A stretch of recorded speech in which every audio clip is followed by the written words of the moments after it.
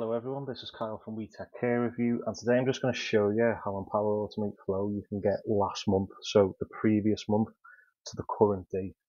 Um, and let's just get straight into it. So I've just got a variable here and the expression we want to use is add to time.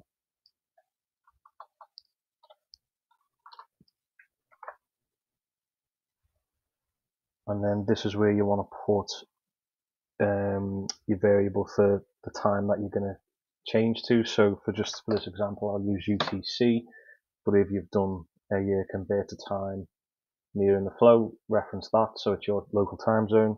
And then after the comma, what you want to do is do a minus one. So this is minusing the month. Then do another comma, and then we want to write month in here. So that's how it knows it's taken that month away. And we're just going to minus one month. And then last, finally, you want to do the format of the date that it's going to display. So for this one, I'll do month, month, y, y.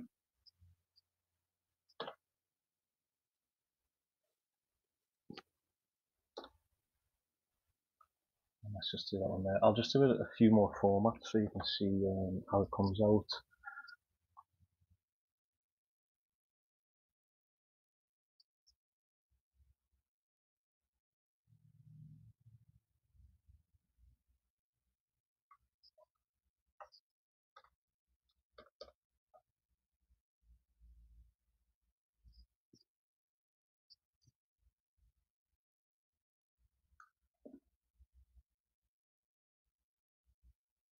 Okay, so let's just run this.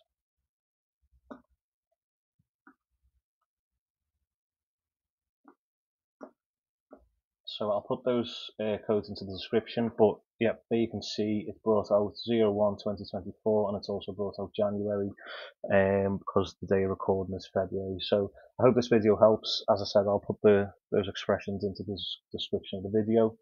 Uh, please like and subscribe to the channel and take care. Thank you.